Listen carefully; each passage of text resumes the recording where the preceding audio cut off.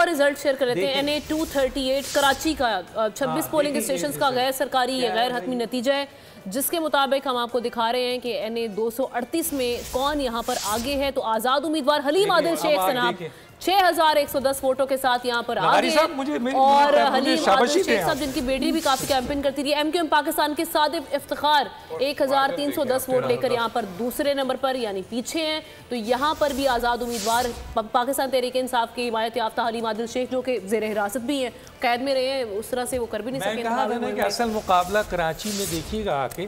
क्यों? क्योंकि sympathy vote जो है ना और नौजवानों का वेट वोट ये दो जो है ना पूरा पाकिस्तान हिला गया है। के, पी के में तो वो स्वीप कर रहे हैं। हाँ। पंजाब के देखे ना किस किस को है? शहबाज शरीफ बिल्कुल कॉर्नर पे अटके हुए हैं। हम्म। ठीक है?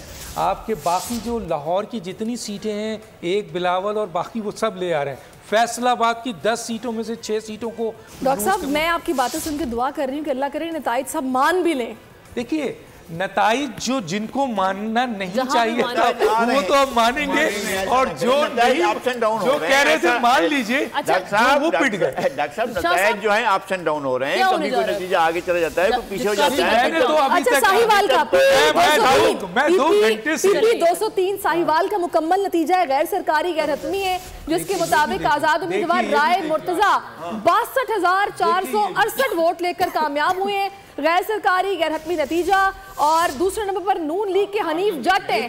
सैतालीस हज़ार दो सौ इकतीस वोट लेकर दूसरे नंबर पर है। जीत रही है वहाँ दो हज़ार का फ़र्क है। और हाँ, पूरा हो सकता है। जहाँ पीएमएल हार रही है वहाँ पर पंद्रह हज़ार दस हज़ार। मेरा ख्याल है अब ट्रेंड जो है वो बन गया है। लगारी साहब को जूस पिलाऊँगा मैं। नहीं डॉक्टर ने मना किया है।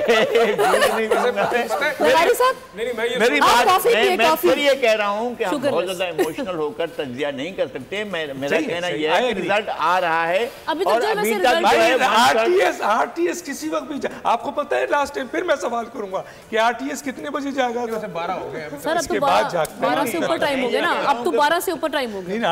अगर आज ऐसा होता है अगर ऐसा होता है सर अगर यही ट्रेन रहा सवाल ये है। अगर यही ट्रेन है कि जिसमें इस वक्त तकरीबन सेवेंटी परसेंट जो है वो आज़ाद आ गए हैं। बिल्कुल। आपके से 70% सर चल रहा है ना सर चल रहा है कैलकुलेशन चल रहा है अभी। हाँ लगारी साहब लगारी साहब मैं ऐसा नहीं मान जाओ तुम तो मान जाओ।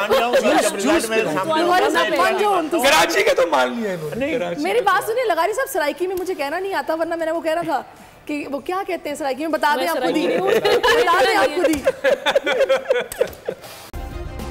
सब्सक्राइब करें और बेल दबाएँ ताकि कोई खबर रह न जाए।